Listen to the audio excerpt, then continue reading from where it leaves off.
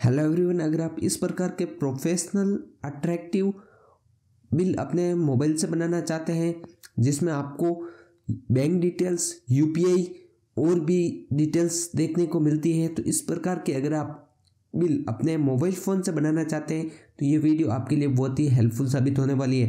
Hello friends मेरा नाम है महावीर। वीडियो स्टार्ट कर लेते हैं। सबसे पहले आपको प्ले स्टोर ओपन करके यहाँ पर माई बिल बुक सर्च करना है। आपको इस प्रकार का ऐप खुलेगा, जिसमें आप देख सकते हैं, ये वाला है माई बिल बुक बिलिंग वाला। इसमें आपको पाँच मिलियन से भी ज़्यादा डाउनलोड्स देखने को मिलेंगे। साथ में ही रेटिंग जो है, four point six star rating भी मिलेगी। तो आपको क्या करना है, इस ऐप को सीधा इंस्टॉल कर लेना है।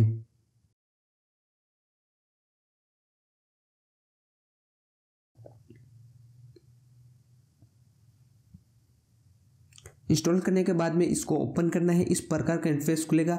आपको अपनी जो भी लैंग्वेज भाषा है, उसको चुनना है। मैं इंग्लिश चुन लेता हूँ और उसके बाद में आपको यहाँ पर अपना मोबाइल नंबर डालकर जो है ओटीपी से वेरीफाई कर लेना है। बहुत ही आसान प्रोसेस है ये वाली। उसके बाद में आपको व्हाट्सअप अलर्ट अपने हिसाब से कर लेना है। मैं नोट नो कर देता हूँ। उसके बाद में आपको अपना बिज़नेस का प्रकार, जैसे रिटेलर होलसेलर डिस्ट्रीब्यूटर मैन्युफैक्चर या सर्विस वो सिलेक्ट कर लेनी है। तो यहाँ पर हम रिटेलर चुन लेते हैं। उसके बाद में यहाँ पर पूछता जाता है कि आप बिल किस से बनाते हैं? तो यहाँ पर आप टेली बिज़ी व्यापार, जिस भी ऐप से बनाना बनाते हैं, वो लिख दें या फिर मैं जो है पेन एंड पेपर सेलेक्ट कर देता हूँ, यानी बिल बुक से ही बनाते हैं। उसके बाद में वो पूछाइएगा कि आपकी जो भी फर्म है, वो जीएसटी रजिस्टर्ड है या नहीं, मैं नो कर देता हूँ। उसके बाद में आपको सिलेक्ट इंडस्ट्री में आपकी दुकान किसकी है? जैसे किराना की है मोबाइल एसेसरीज की है, या अकाउंटिंग की है, या डेली डेयरी है, या इंजीनियरिंग की है, या फिटनेस की है, या फ्रूट की है, जो भी है, वो आपको अपनी कैटेगरी सिलेक्ट करनी है, अपनी दुकान किस के बारे में। तो हम यहाँ पर मोबाइल एंड एसेसरीज पर जो है, वो सिलेक्ट कर लेता हूँ। बहुत सारी कैटेगरी मिलेगी। मैं मोबाइल एंड एसेसरीज वाली सेलेक्ट कर लेता हूँ। उसके बाद में क्रिएट फ़र्स्ट इन्वॉइस पर आपको क्लिक कर देना है।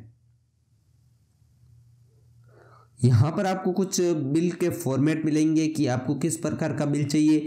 मैं एफ़ फोर साइज़ चुन लेता हूँ और उसके बाद में आपको देख सकते हैं, यहाँ पर टोटल आठ प्रकार के बिल फॉर्मेट देखने को मिलते हैं। तो मैं यहाँ पर अपने हिसाब से एक चुन लेता हूँ। थर्ड नंबर वाला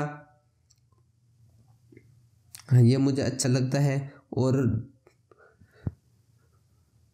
आपको इस प्रकार का खुलेगा क्रिएट बिल या इनवॉइस इसमें आपको ऐड आइटम पर क्लिक करके कुछ आइटम ऐड कर लेना है, जो भी आपकी दुकान में आइटम अवेलेबल है।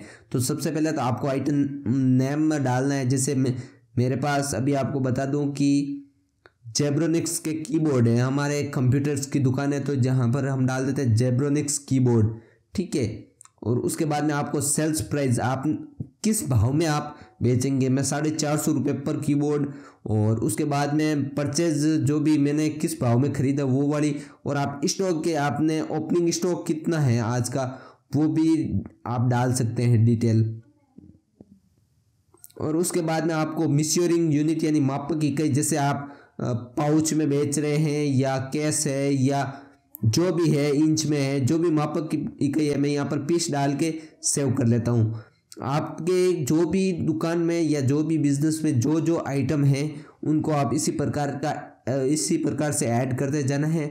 और मेन ध्यान इस बात का रखना है कि आपको मापक इकाई का ध्यान रखें सेल्स और परचेज प्राइस का ध्यान रखें कि आप किस भाव में खरीद रहे हो और किस भाव में बेच रहे हो।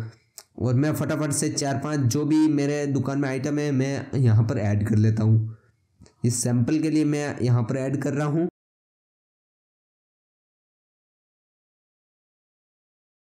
फ्रेंड्स कुछ एरर आ रहा है अभी स्क्रीन रिकॉर्डिंग में। हाँ तो हमने ऐप को क्लोज करके वापस ओपन किया है और यहाँ पर आप बिज़नेस डिटेल जो भी है वो बिज़नेस नेम पर क्लिक करके आप अपने बिज़नेस का नाम, जैसे गोयल कंप्यूटर्स आप, मैं अपने बिज़नेस का नाम डाल देता हूँ। आप लोगो भी डाल सकते हैं और साथ में आप अपना जो भी एड्रेस है, वो एड्रेस इसमें डाल सकते हैं।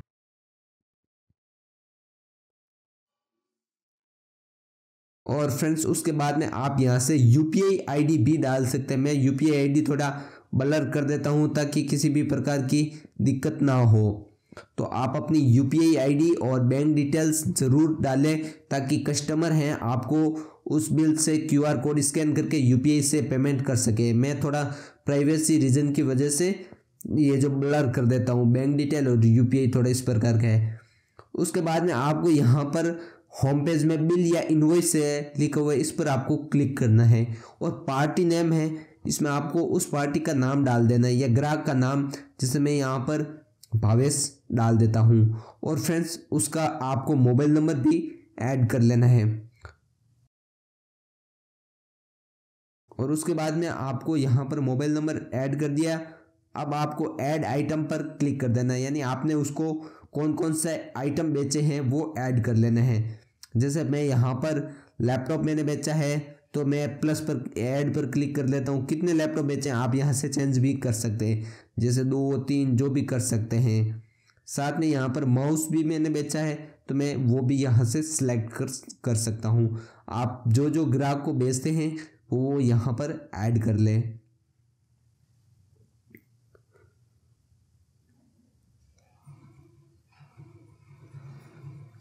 फ्रेंड्स आपको नीचे टोटल आइटम और उसका जो भी प्राइस बनता है वो भी यहाँ पर आपको बता रहा है।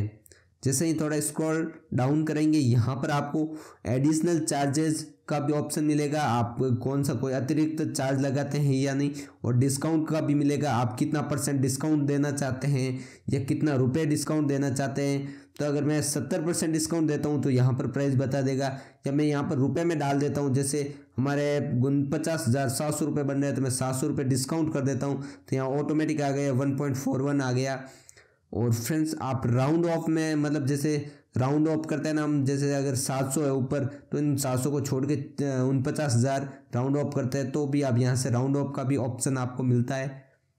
अब उसके बाद में आ गया टोटल अमाउंट हम कस्टमर से सात सौ रुपये डिस्काउंट देकर उन पचास हज़ार लेंगे। तो आप अमाउंट रिसीव्ड में आपको क्लिक करना है।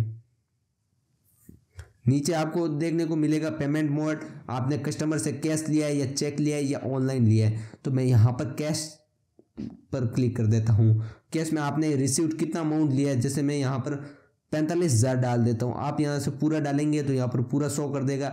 आप अपने हिसाब से डाल दिए अब जैसे आप देख सकते हैं, यहाँ पर बिल बन गए हैं और आप इसको डायरेक्ट भेज भी सकते हैं, प्रिंट भी कर सकते हैं, अपने डाउनलोड भी कर सकते हैं। तो मैं या, एक बार इसको डाउनलोड कर लेता हूँ और आपको ताकि देखने में थोड़ी आसानी होगी। बैग जाके भी आप देख सकते हैं, मैंने बैग गया और वापस क्लिक किया तो इस प्रकार का ये बिल आ गया। ऊपर इन्वॉइस नंबर भी आपको देखने को मिलेगा। मैंने बिल को डाउनलोड कर दिया ताकि आपको जूम करके आसानी से बता दूँ। सबसे पहले तो अपनी फॉर्म का नाम आ गया, बिल टू, किसके नाम बिल है? Invoice number, invoice date, due date भी यहाँ पर आपको देखने को मिल जाएगी। और जो जो आइटम उसकी प्राइस क्या है, कितने क्वांटिटी है और टोटल कितना बना पेमेंट, वो भी यहाँ पर आपको दिखा रहे हैं।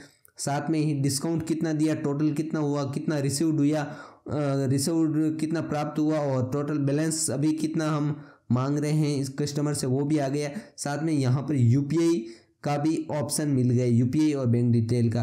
फ्रेंड्स अगर वीडियो अच्छा लगा हो तो इसे लाइक शेयर ज़रूर करें क्योंकि मेहनत बहुत लगी है यार।